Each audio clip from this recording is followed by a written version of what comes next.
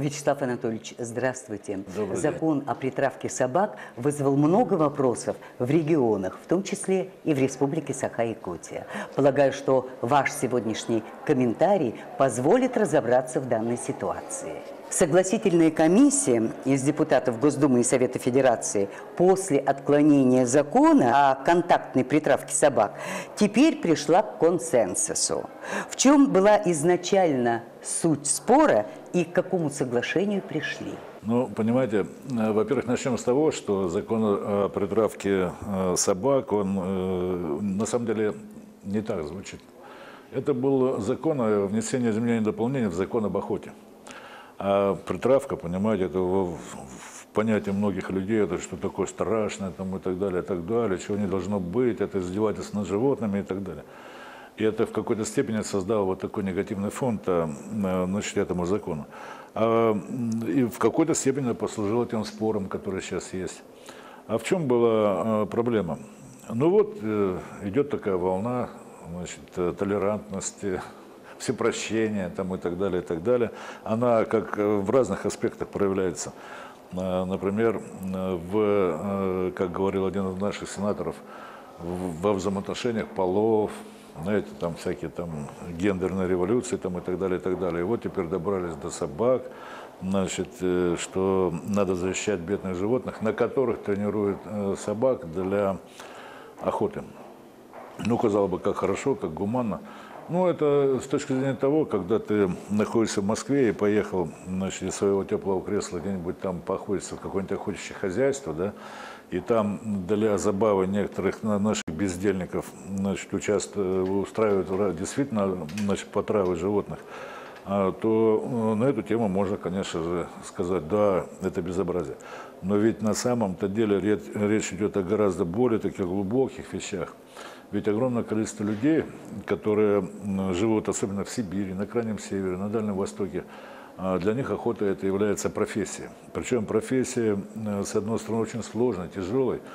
Ну, представьте себе, на наших э, тундровых, лесотундровых, горных значит, э, местностях охотиться. С другой стороны, она очень опасная, потому что ведь в любой момент человек может, охотник и погибнуть от животных, значит, у него должны быть помощники, значит, собаки. Они ему помогают, во-первых, охотиться, во-вторых, они защищают его. Ну какие же это будут э, помощники, если они никогда этого зверя-то не видели, не знают, кто это такой, понимаешь, так? Это э, все равно, что отменить э, бокс, значит, и пусть это будет бесконтактный, да, кто там красивее покажет. Но так же не бывает. И вот как бы эта часть, она была упущена совершенно значит, в сторону. Ну и, конечно, когда закон запретил контактную тренировку, животных, то возник спор. Совет Федерации э, категорически стал против, потому что в Совете Федерации все-таки люди, которые из регионов и субъектов Федерации, они там собраны неизвестно по какому принципу в Госдуме. И поэтому э, проголосовал Совет Федерации против, и была создана согласительная комиссия. Вячеслав Анатольевич, якутские охотники и владельцы притравочных станций против принятия закона. Они даже выступали на митингах по этому поводу. Что сейчас ожидает притравочные станции? Не существует таких притравочных станций. станций. Существует значит, ИТС, значит, испытательно-тренировочная станция. А, ну, что это означает ИТС? Ну, с одной стороны, э, тренировочная, значит, там действительно натаскивают, тренируют собак.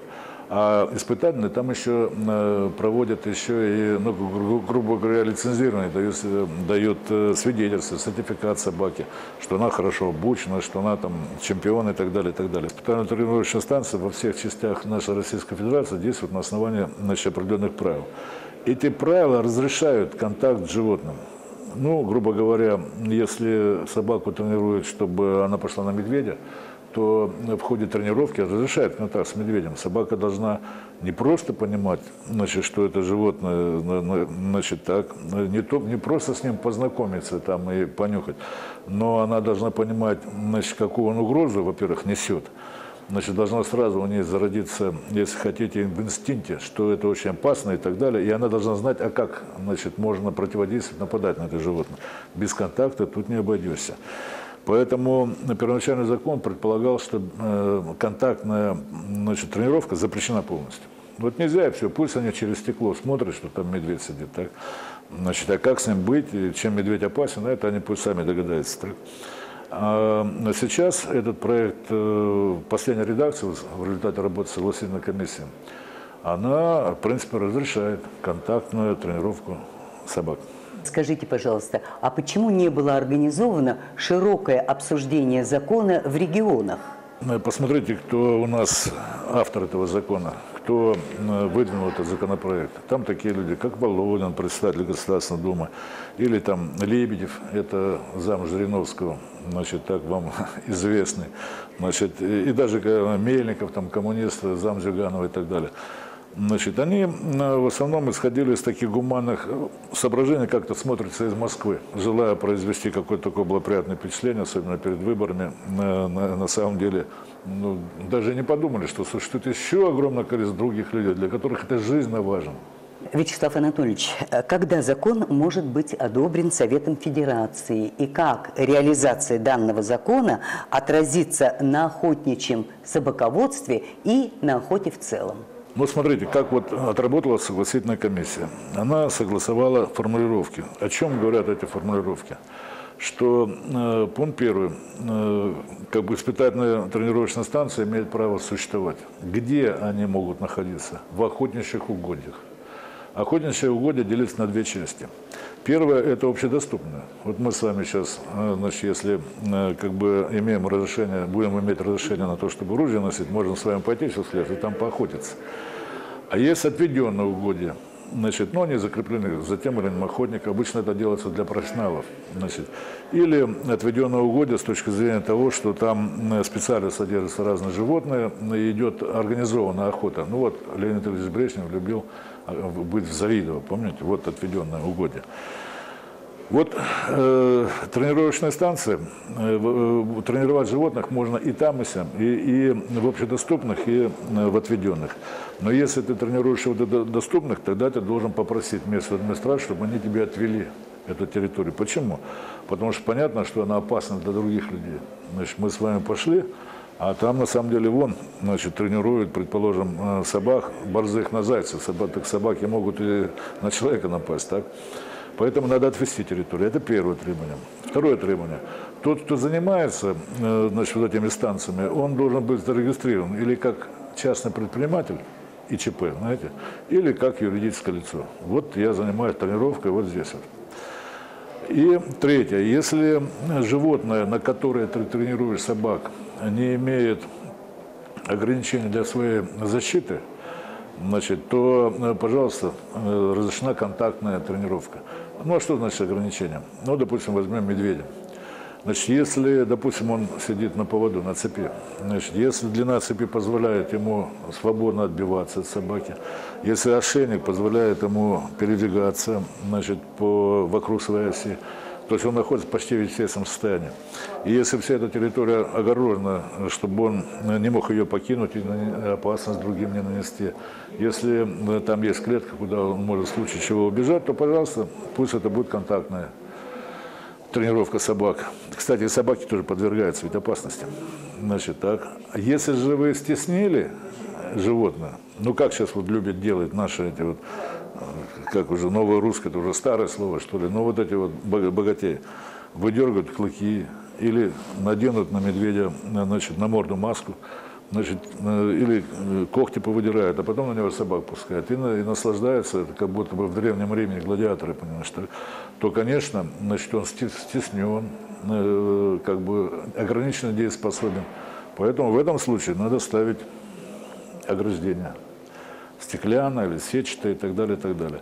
А если нет, не стеснен, если он в нормальном естественном состоянии, или вот, скажем, нора, норовая есть, да, Значит, если нора имеет столько же выходов, сколько это животное в природе пользуется, значит, ну, допустим, три выхода, то, пожалуйста, можно контактно. Если вы ограничили, сделали для него только один выход, тогда только через стекло. Вот в чем суть дела-то.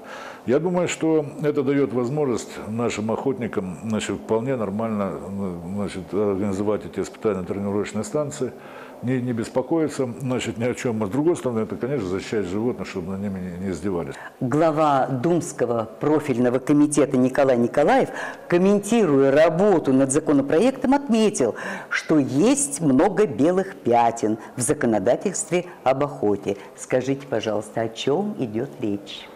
Ну, он прав. А, Значит, ну, во-первых, вот мы говорим, испытательно-тренировочная станция. Ну, а какая она должна быть из себя? Какая она должна быть в длину? Какая в ширину? Значит, как меры безопасности соблюсти? Значит, чтобы туда э, личные люди не подходили, не подвергали себя опасности. Что значит э, животное э, значит, не ограничено в своем передвижении? Это же все надо описать, это все надо сделать. Ну, закон говорит, что это сделает Министерство природных ресурсов, значит, так, или там э, Минсельхоз, который занимается этой отраслью охотничьей. И вот там будут написаны инструкции. Ну вот как они будут написаны? Напиш, на- напишут ли их вообще, понимаешь? Не заглушат ли они всю эту охоту на месте? Значит, за этим надо наблюдать. Поэтому э, вот он говорил, что много есть там таких подзаконных актов, которые надо принимать. Как правило, ну, как говорят, дьявол-то в деталях кроется. Да, можно хорошее решение принять, а потом так написать, что ничего не получится.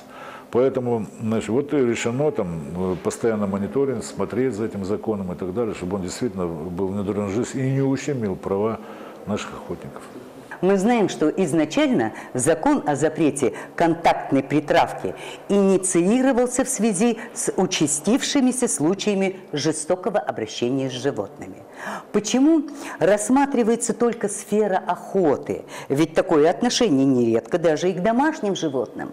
Вячеслав Анатольевич, а как, на ваш взгляд, должно быть ужесточено законодательство в отношении живодеров?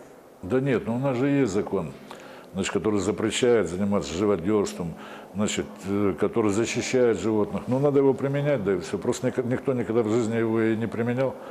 Значит, так, и а на самом деле он же существует. Но на самом деле тут еще можно в скобках сказать, что должна быть какая-то разумная грань, что ли, а то можно всякое под- подвести. Наши крестьяне, якутские крестьяне, э, вообще все российские крестьяне, они же сами все не враги, у них веками выработалось отношение к животным как к своим. Если там, значит, хворостину ударил, то это не значит, что э, значит, обращением. А скорее жестокое обращение, вот когда покупают для э, своего развлечения. Ну, посмотрите, значит, в интернете, по телевидению, что только не тащат домой. Удавов каких-то, питонов, крокодилов, тигров. Потом они нападают на людей и их начинают мучить. Конечно, закон есть, его надо применять. Вячеслав Анатольевич, большое вам спасибо за на вопросы охотоведов и охотников республики. Спасибо. Спасибо.